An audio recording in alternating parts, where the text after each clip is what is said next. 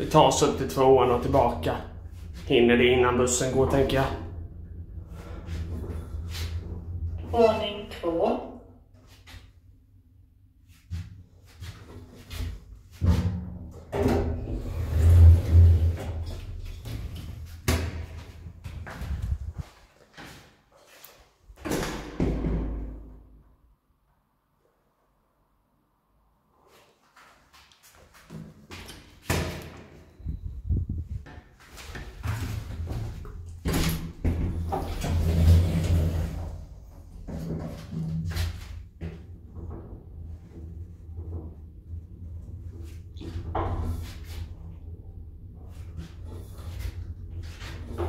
Bottenvåning, en trevåning.